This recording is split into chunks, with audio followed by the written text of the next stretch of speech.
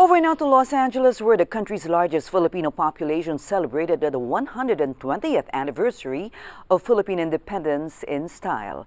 Philippine Senator Nancy Binay joined the Filipino community at the consulate's annual Kalayaan commemoration, where the consulate was showered with accolades from several cities as well as the county of Los Angeles.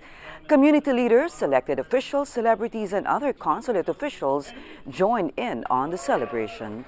The evening was also off with a fashion show featuring the styles of Pinoy designer David Tupas.